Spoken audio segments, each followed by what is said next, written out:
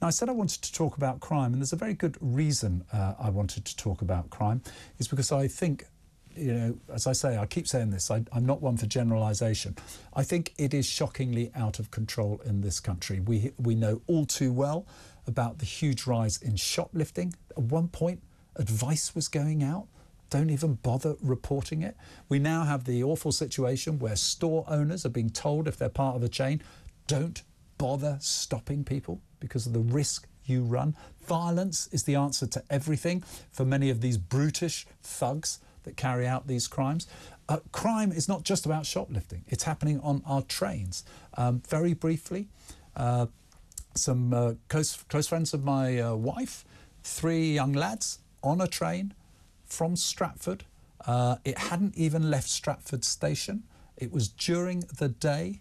Three big fellas, not much older than them, got onto the train. Uh, and these guys were in an empty carriage at the time, punched one of them in the face, and then took their phones, demanded they opened their phones, took whatever cash they had, and frankly, a terrifying experience, right? You might not think so, but actually, if that happened to you, pretty terrifying experience. These people walked off. They were wearing distinctive clothing. They could have been identified. Nothing happened. This is on a train in daylight. Where is the political will to understand that we should not be in a society where we sit on a train in broad daylight having to fear that people who come into that carriage might possibly be the sort of thugs, dangerous thugs that we have just seen, and be attacked, be robbed, and nothing happens, no accountability. Now, you will have other experiences, not necessarily personally, but of other people. If that is not crime out of control, what I've just described, what is? And that's before we talk about violent crime, before we talk assaults, rapes, murder knife crime. That's happening every day.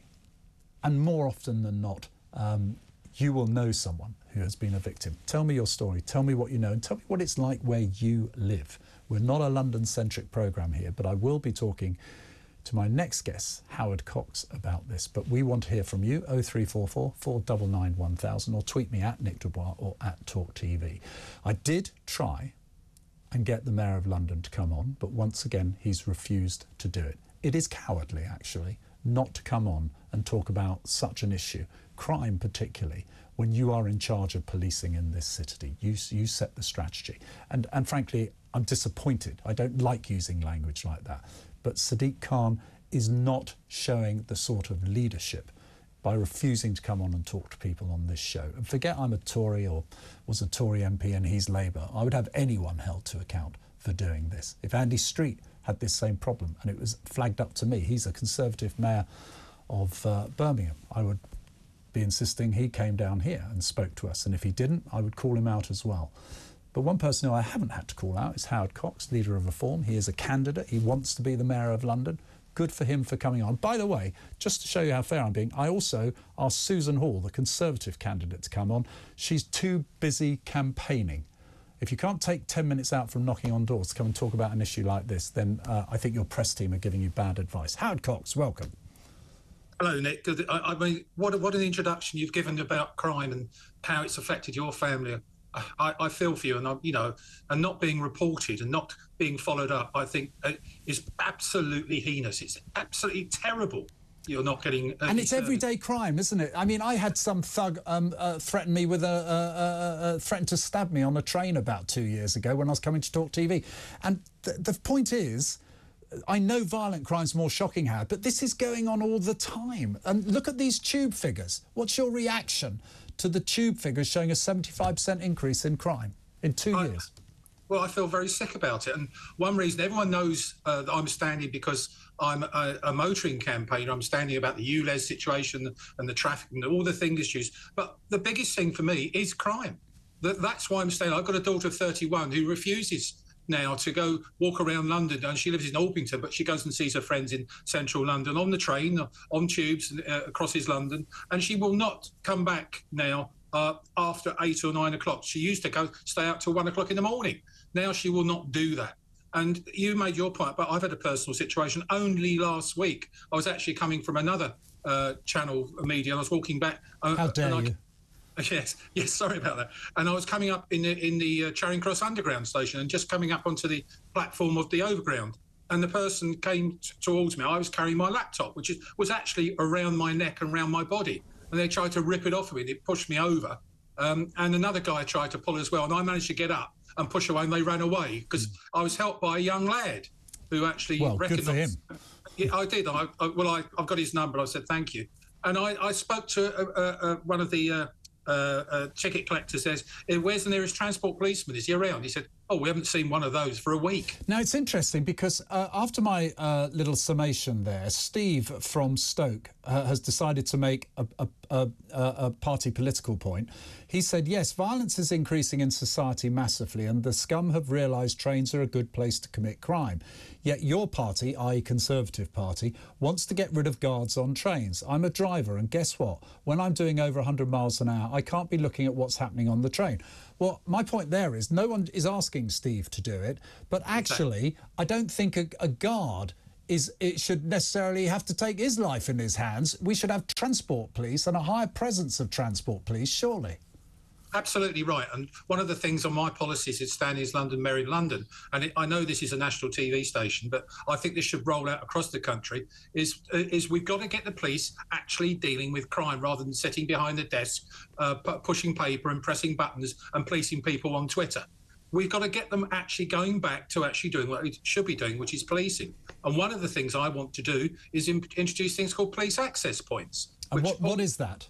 Well, fundamentally, in all uh, 24 outlets, it could be supermarkets, it could be McDonald's, it could be uh, all sorts of places, but all 24 outlets, they would have a manned police station, a, a, a police booth area with all the facilities, all computer access, and you could go into there and report something, or you can go in there and take, uh, uh, get solace. The important thing here is I, it, they're going to say, how are you going to pay for that? Well, I think those businesses will pay for it because they want to stop shoplifting and violence in their own premises. And it'll be a good, you know, oh, I feel safe coming in here because there's a policeman in here. And that's the sort of thing I want to do. I want to triple the number of bobbies on the beat, and I'm going to look at transport police. I've already put in a freedom of information request, and I must congratulate the uh, Lib Dem for this, so who actually put a freedom of information to get this information about 75% increase. They're not getting good press at the moment, the Lib Dems, as we know. Yeah. But fundamentally, they put the FOI request in, Nick, and they got this information out, and they beat me just slightly to it. I've got some other questions I've asked. Well, uh, that that's good, but and and you know, good for them for getting the figures. But if I'm brutally honest, around the world crime is spiraling. There's no question of that. I can't think of any countries you may where it's been tackled successfully on going down. I, I, mean, I was pickpocketed in Rome. I caught the little thug, as it happens, which was a great pleasure to me as I slung him off the train. Um, right. Uh, you know, but this is Rome. Barcelona has pickpocket problems galore, as well as street crime, street robbery. Um, you know, I could go on. But so, yes, policing our way out of the problem, I guess that's a challenge, Howard, and we, it's, it's a right response to have. But, you know, what else should we be trying to tackle to kind well, of get I... it in people's heads that this is not an acceptable way forward? Well, I think our society, you, uh, you've rightfully highlighted that. I think we've, we've got to get the politicians actually talking less confrontatory it's got to be. There's too much division. We've seen it in the case of the London mayor, which he's he, he's not fit for purpose. And the one reason why I'm standing, I, you know, it took me three months to say yes to Richard Tice. I'm going to stand as London mayor. Um, and one of the reasons was on the crime thing. But it's time we've got to stop this division. We've got this whole thing with the Palestinians and the Jews in London. You saw what's happening. I've heard you talking about it with Henry Bolton and that sort of thing. The, the problem we've got is we've got too much division and it's being accelerated by politicians. We've got to start talking to people, listening to people, and working with people. So when, people, when I look. I'm, I'm probably going down a road that I really shouldn't because I, I, I don't know how many people will be interested in this aspect. But the fact for me is there is a huge loss of just some basics in people a lack of respect for property, a lack of courtesy. Uh, uh you know, these things, it all starts from a sense of entitlement. I'm, I'm an 18 year old, I deserve to have that phone that person's got over there, rather than think, how can I save up? What can I do to get one? I'll go and nick it. I mean, well, this, this well, worries me. Nick, Nick well, then we've got to go back to the state of education What are they learning at schools in terms of respect? When I grew up, I'm you know I'm, I'm in my 70th year, but we actually role play things like you know going to a shop and buying things, saying thank you, please, sir, opening the doors for people, helping people. Oh. Uh, I was I also did things like going to help old age pensioners. I am one now, going across the road, that sort of thing that we don't see that at the moment. I don't see people getting up in trains for people. No, now, that's true. I do actually, um, uh, still do that, uh, and uh, and it's always appreciated generally. Funny enough, look, uh, this is real old man talk. So uh, uh, this this is this is quite quite amusing in some senses, because I I ask people when you're out walking on a pavement, just count how many times someone will move to get out of your way as opposed to you moving to get out of everyone oh, else's way. Oh, Nick, this is a real thing. I can't believe how you're saying this. I'm often walking down the road and up coming t- towards me. There's three people, young yeah, people, all on their younger than you. Let's keep it me. at that. Yes. Yeah, it doesn't matter oh, that sort of thing. And I, I deliberately stay my position now. So they walk and they go, look at me. Oh, they're completely oblivious. They don't have empathy with their surroundings. Yeah. And that's the problem. But but no? it's also just about courtesy. Now look, we're not going to solve crime by educating people, but I do passionately believe we have stopped teaching and, and, and advising people on personal responsibility and civic responsibility. Everyone is about, it's my right to walk on this pavement, and if you don't get out of my way, I'm going to barge you with my elbow. That's the prattish sort of behaviour I come across. But we're getting that also in other things. So I'm going back to the division thing. Little things like cyclists and motorists. This is being exacerbated by uh, Sadiq Khan. I you get off the train Cross, I walk down, you know the word, down to Whitehall, down to Westminster. I must count what 50 cyclists cycles on the pavement.